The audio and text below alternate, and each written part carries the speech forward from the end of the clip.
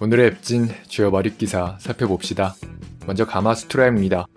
299달러로 차세대 성능을 약속하는 엑스박스 시리즈 S가 11월 10일 출시한다. MS가 오랫동안 루머로 떠돌았던 엑스박스 시리즈 S를 공식 발표했습니다. 엑스박스 사상 가장 작은 크기로 차세대 성능을 전하겠다고 약속하는군요. 현재 알려진 바에 의하면 엑스박스 시리즈 S는 디스크 없는 디지털 전용 기기이고요. CPU는 시리즈 X와 같지만 GPU와 램이 그것보다 낮은 성능입니다. 또 1440 해상도에서 120프레임까지 지원하고요. DirectX ray tracing, 가변 shading, 4K upscaling, 4K 미디어 재생을 지원한다고 합니다. 저장 장치는 512GB SSD가 될 겁니다. 컴팩트한 디자인과 낮은 가격 덕에 엑스박스 게임 패스 정기 구독용으로 사기에 안성 맞춤인 콘솔일 거라는군요. 차세대에 큰돈 쓰길 원치 않는 캐주얼 플레이어에게도요. 출시일은 11월 10일입니다. 한편 웹사이트 윈도우 센트럴이 보도한 루머에 의하면 플래그십 모델인 엑스박스 시리즈 X는 499달러로 역시 11월 10일 출시할 거라고 합니다. 게임스 레이더입니다. 엑스박스 시리즈 X를 살 것이냐, 시리즈 S를 살 것이냐. 간단하다. 엑스박스는 옛날부터 이름을 헷갈리게 지어왔습니다. 게다가 지금 MS의 전략은 어차피 MS 생태계에 들어오게 하는 게 중요하지 이름 따위는 중요치 않다입니다. 엑스박스 360 시절에도 360 코어가 있었고 360 프로가 있었습니다. 당시 뭘 살지는 한 가지 질문으로 요약됐죠. 엑스박스 라이브를 이용하길 원하는지 안 원하는지로요. 지금도 비슷합니다. 엑스박스 시리즈 X를 살 것이냐, 시리즈 S를 살 것이냐는 다음의 질문을 던져보면 된다고 합니다. 내가 low latency mode HDMI 2.1 가변 주사율을 지원하는 4K TV를 갖고 있는가? 혹은 곧 살 계획인가? 아니라면 차세대의 엑스박스 시리즈 S로 가도 무방하다네요. 운 좋게도 그런 4K TV를 갖고 있는 경우면 시리즈 X로 가라고 합니다. 친구랑 그저 포트나이트나 워존을 플레이하길 원하고 온라인에서 친구를 기다리는 지루한 시간에 가끔 싱글 게임을 하고 싶다면 그냥 기존 엑스박스 1이나 쓰다가 천천히 차세대로 넘어가도 좋다고 합니다. VGC입니다. 영국 게임 상점이 플스5 가격 공개가 임박했다고 주장하다. 영국 게임 상점 공식 트위터가 플스5 가격 공개가 이번 주에 있을 거라고 주장했습니다. 해당 트윗은 나중에 삭제됐는데요. 나중에 한 팬이 그 정보가 사실이냐고 묻자 사실이라고 다시 답변했습니다. 근데 이 답변 트윗마저 나중에는 삭제됐습니다. 한편 맥쿼리 캐피탈의 애널리스트 다미안 통은 플스5가 500달러 부근에서 가격이 책정될 거라 내다봤습니다. 디지털 버전은 400달러일 거고요. 유로게이머입니다. 엑스박스 시리즈 S 밈이 쏟아지고 있다. 엑스박스 시리즈 S가 공개되자 온갖 밈도 같이 쏟아지고 있습니다. 보시다시피 우선 스피커 같다는 의견이 많더군요. 시리즈 S 덕에 내 부엌이 완성됐다는 글입니다. 차세대 cooking plate라는 밈도 있군요. 소니를 베꼈다는 주장도 있습니다. 전 특히 이 밈이 웃기더군요. 헤일로 인피니트 밈과의 크로스오버입니다. 요새 인기인 폴 가이즈 edition도 있습니다. 그 외에 여러 밈들이 있으니 둘러보시기 바랍니다. 유튜브입니다. 플스5 24K gold edition 이번 주부터 예약 구매 시작 9월 10일부터 Truly Exquisite가 24K 골드, 18K rose gold, 그리고 플래티넘으로 구성된 플스5 모델의 사전 예약을 받는다고 합니다. 가격은 약 1만 달러, 우리 돈으로 하면 1200만 원이 넘습니다. 디지털 모델과 일반 모델 각각 250대만 한정 생산한다고 하니 관심 있으시면 빨리 예약하시기 바랍니다. WCCF 테크입니다. 루머 엑스박스 라이브 골드는 은퇴하고 온라인 멀티는 결국 무료가 될 것이다. 엑스박스 라이브 골드는 엑스박스의 온라인 gaming 서비스인데요. 앞으로 은퇴할 거라는 루머가 계속 돌고 있습니다. MS는 이미 12개월치 정기구독 판매를 중단했는데요. 한편으로는 지난달에 엑스박스 라이브 골드가 어디 가지 않을 거라고 공식적으로 발언한 바 있습니다. 하지만 이 발언은 은퇴 발표를 잠시 연기한 것에 불과하다네요. 그동안 극히 신뢰도 높은 정보를 유출해온 벤처비트의 기자 제프 그럽이 어제 트위터에서 그렇게 주장했습니다. 엑스박스 라이브 골드가 끝날 거라고 말한 건 제프 그럽뿐이 아닙니다. 엑스박스 내부자 클로브릴 역시 지난 7월 엑스박스 온라인 멀티플레이 과금 장벽이 무너지는 건 의문의 여지조차 없다고 말했습니다. 다만 그게 언제일 것이냐의 문제만 남았다네요. MS가 더 많은 사람을 엑스박스 생태계로 끌어들이려 하는 상황에서 엑스박스 라이브 골드가 은퇴하고 온라인 멀티플레이어가 무료가 된다는 건 무척 말이 된다고 기사는 말합니다. 하지만 아직 루머이니 걸러 들으시기 바랍니다. 게임 인포머입니다. 플스5 게임 켜는데 2초 걸리며 듀얼 센스는 한 번 맛보면 돌아올 수 없다. 기자는 플스5 이벤트에서 공개됐던 게임 캐나 브릿지 오브 스피릿을 플스5로 구동하는 걸 직접 지켜봤나 봅니다.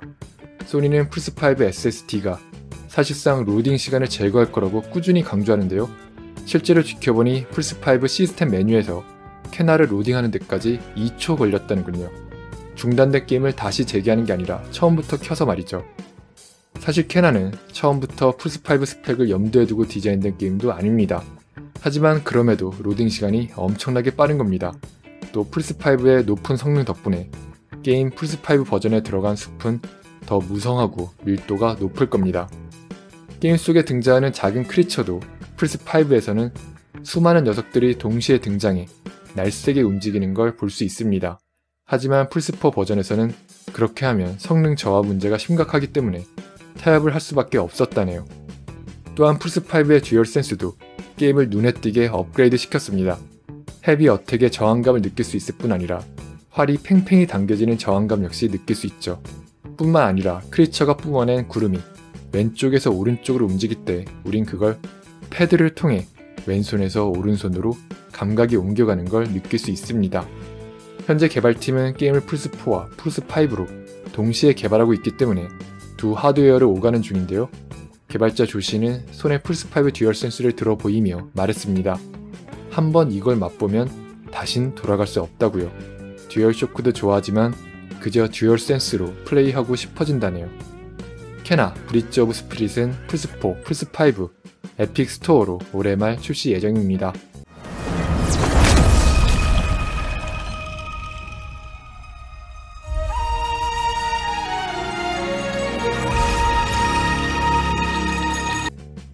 VJ247입니다. 플스5 듀얼센스는 in-game sound를 자동으로 진동으로 전환할 수 있다.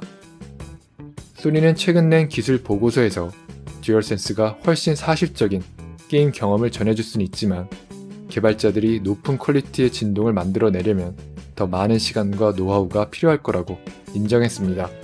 그 부담을 덜어주기 위해 소니는 게임 개발자를 대상으로 한 새 haptic feedback 기술을 구현했다네요. 플스4 듀얼쇼크를 구현하려면 필요했던 여러 단계를 생략하고 진동 waveform을 훨씬 빠르게 만들 수 있는 기술이라고 합니다. 또한 이 기술은 특정한 액션과 결부된 in-game sound effect에 기초해 haptic feedback 패턴을 만들어낼 수 있습니다. 그래서 개발자가 일일이 손수 제작할 필요 없이 알고리즘을 이용해 자동으로 high quality의 진동을 선보일 수 있다고 합니다. 다시 WCCF 테크입니다. 플스5 듀얼센스는 그 어떤 게임에도 수많은 가능성을 제공한다. 메트로의 프로듀서 존 블로우가 플스 공식 매거진과 짧은 인터뷰를 가졌습니다. 그는 우선 듀얼센스를 칭찬하며 인터뷰를 시작했습니다. 듀얼센스로 그 어느 게임이라도 수많은 가능성이 생길 거라면서요. 메트로 게임 관련해서는 일단 자기 머릿속에 떠오르는 건 공압식 라이플을 쓸때 그 압력감을 촉각으로 느끼게 하는 거라네요. ray tracing과 SSD 중에 한 가지만 꼽아야 한다면 뭘 꼽겠냐는 질문에 그는 ray tracing을 꼽았습니다.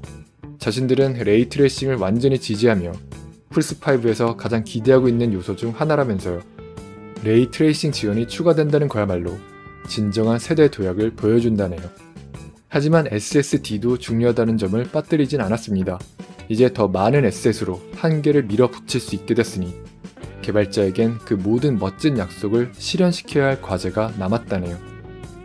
락페이퍼 샷건입니다. 왜 콘솔에 SSD가 생기는데 PC 게임의 로딩 속도가 빨라지나? 왜 차세대 콘솔, 즉 플스5와 엑스박스 시리즈 X에 SSD가 생기는 게 그렇게 대단한 일인지 의아해 하신 분들이 많을 겁니다. 그스니도 그랬습니다. PC에서는 이미 한참 전부터 SSD가 쓰였는데 말이죠. 그걸 이해하려면 현재 쓰이는 저장 장치에 API라는 녀석을 알아야 한다고 합니다. MS에 의하면 현 저장 장치 API는 현대 게임이 요구하는 높은 입출력 수요에 최적화되어 있지 않습니다. 그래서 NVMe SSD라는 녀석이 아무리 빨라봐야 그 이점을 완전히 누릴 수 있는 속도를 제공하지 못하는 겁니다. 그러니 최첨단 PC 하드웨어에 최신 SSD 드라이브를 달았다 할지라도 게임이 기존 API를 쓴다면 잠재력이 낭비되는 거죠. MS가 발표한 새 API인 다이렉트 스토리지는 그 병목 현상을 제거하기 위해 고안됐습니다. 간단히 말하자면 다이렉트 스토리지는 PC의 전체 입출력 시스템을 개선해 데이터를 우리의 램과 그래픽카드 메모리 뱅크에서 훨씬 효율적으로 로드할 수 있게 해줍니다. 동시에 현존 최고의 decompression 기술도 적용되죠. 데이터를 순식간에 GPU에 보내 렌더링하기 위해서요. 덕분에 NVMe SSD의 성능을 극대화할 수 있고 로딩 시간은 짧아지며 게임 세계는 전례 없는 수준의 규모로 커지고 디테일해질 수 있는 겁니다. 개발자들은 실로 막대한 양의 입출력 요청을 극도로 효율적으로 처리할 수 있고요. 다만 문제는 다이렉트 스토리지는 오직 특정 NVMe 드라이브만 지원한다는 겁니다. MS는 아직 기존 3세대 NVMe SSD도 다이렉트 스토리지와 호환되는지 아니면 4세대 SSD만 호환되는지 여부를 발표하지 않았습니다. 흥미로운 건 엔비디아도 차세대 그래픽카드를 발표하며 엔비디아 RTX IO라는 기술을 발표했다는 겁니다. RTX 3000번대 카드를 쓴다면 RTX IO는 MS의 다이렉트 스토리지에 직접 적용됩니다.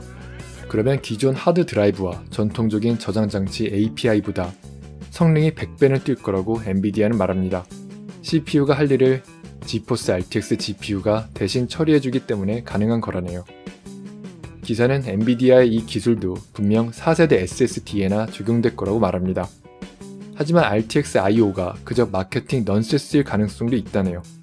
어쨌든 속도가 빨라지는 핵심은 MS의 다이렉트 스토리지에 있으니까요.